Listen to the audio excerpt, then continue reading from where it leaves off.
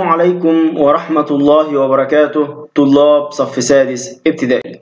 اليوم إن شاء الله في مادة الاجتماعيات في الأسبوع الثاني عشر سيكون موضوعنا عن موقع وطني المملكة العربية السعودية وأيضا مناخ وطني المملكة العربية السعودية.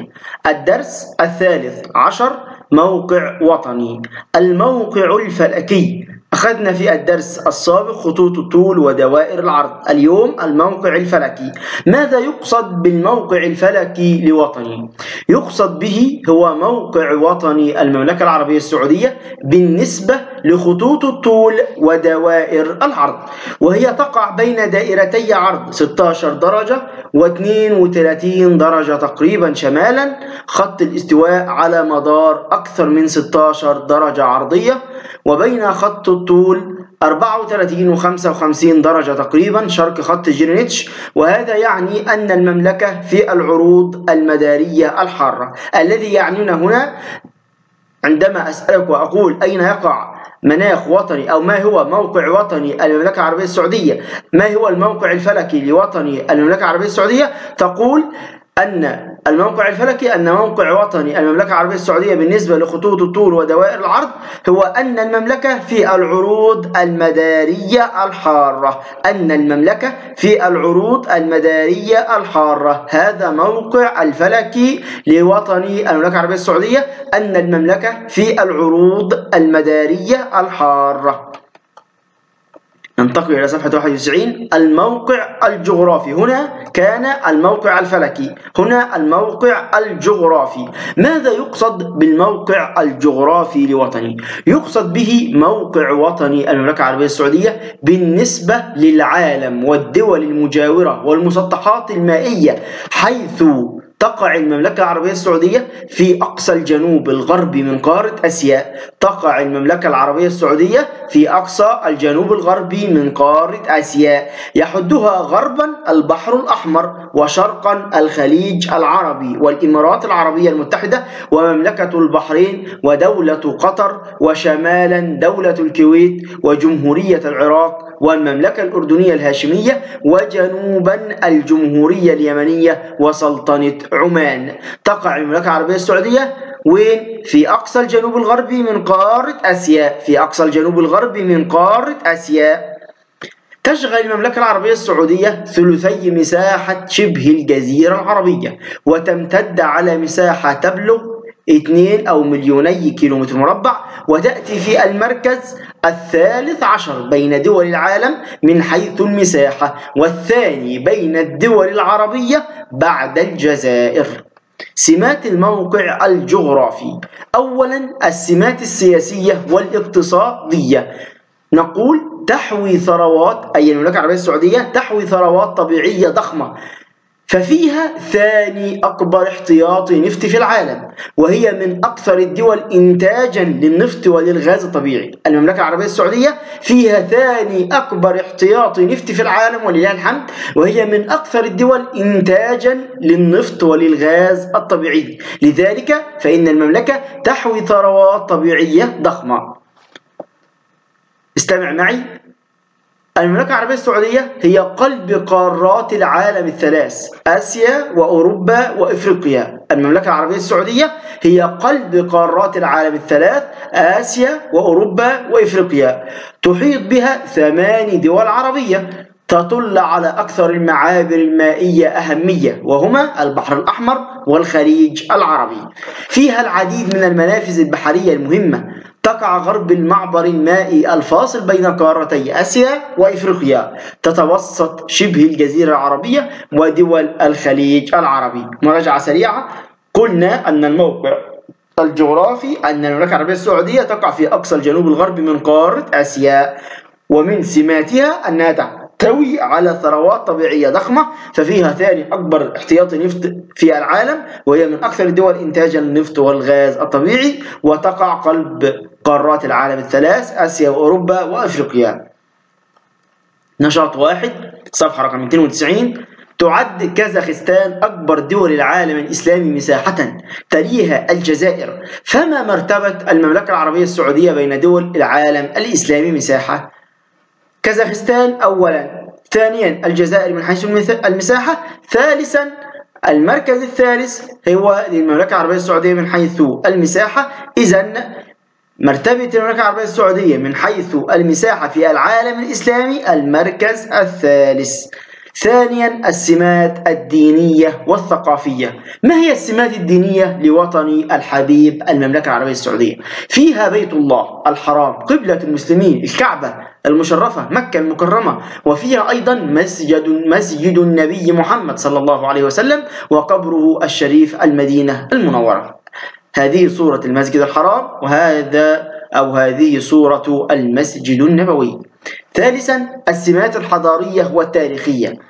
السمات الحضارية والتاريخية لوطن المملكة العربية السعودية أنها مهد الحضارات حيث شهدت أكثر من ثلاثين حضارة. مهد الحضارات حيث شهدت أكثر من ثلاثين حضارة. تتوسط حضارات الصين والهند والحبشة وبابل في العراق والفراعنة في مصر. فيها أول بيت وضع للناس اللي هو مكة المكرمة الكعبة المشرفة. نشاط رقم اثنين. يستنتج الطلبة الحضارات الواقعة داخل حدود المملكة العربية السعودية. هناك حضارة ثمود والأنباط ومدين ومدين والمقر القديمة ودلمون ومملكة كندة. يبقى إذا الحضارات الواقعة داخل حدود المملكة العربية السعودية حضارة ثمود والأنباط ومدين والمقر القديمة ودلمون أو دلمون ومملكة كندة. يستنتج الطلبة الحضارات المشتركة مع المملكة العربية السعودية. ما هي الحضارات المشتركة مع المملكة العربية السعودية؟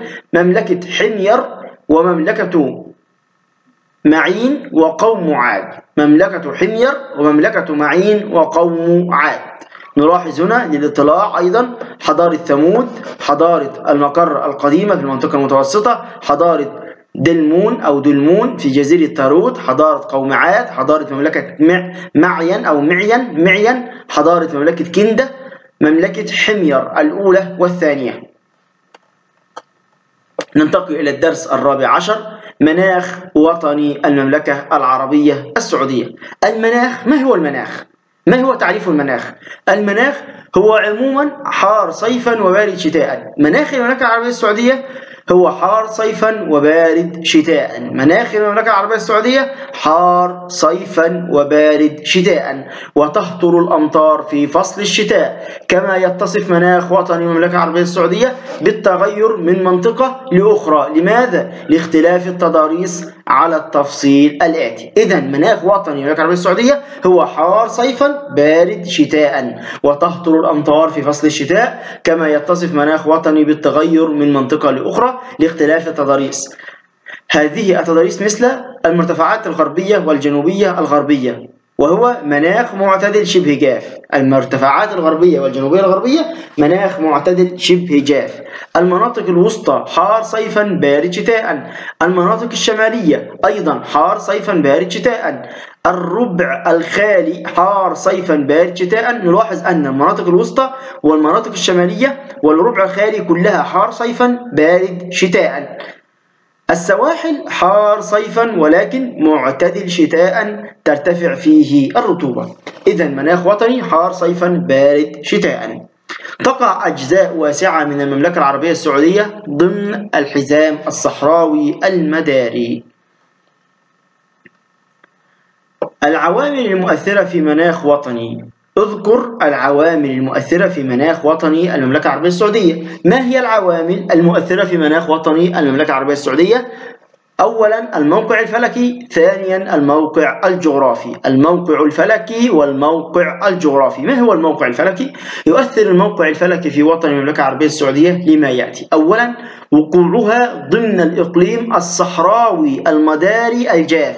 وقوعها ضمن الإقليم الصحراوي المداري الجاف وهو ما جعلها في مواجهة الرياح التجارية الجافة شتاء والرياح القارية الجافة صيفا لذا يتسم مناخ المملكة بالجفاف على مدار السنة. تعامد الشمس على مدار السرطان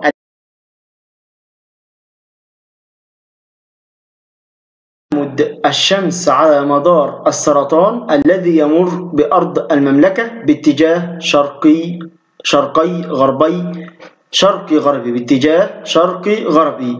تعامد الشمس على مدار السرطان الذي يمر بأرض المملكة باتجاه شرقي غربي. يقسمها إلى نصفين تقريبا. الموقع الجغرافي. وهو يؤثر في وطن المملكة العربية السعودية لما يأتي. اتساع مساحة وطني وخلوه من المسطحات المائية مثل الأنهار والبحيرات حيث ساعد ذلك على سيادة الجفاف في معظم أجزائها. اقتصار تأثير الخليج العربي والبحر الأحمر على السواحل المجاورة لهما لصغر مسطحهما المائي. امتداد المرتفعات الغربية والصحاري الرملية الضخمة أدى إلى منع المؤثرات المناخية من التوغل إلى داخلها. انخفاض درجات الحرارة على المرتفعات الجبلية في غرب المملكة نتيجة لارتفاع للارتفاع.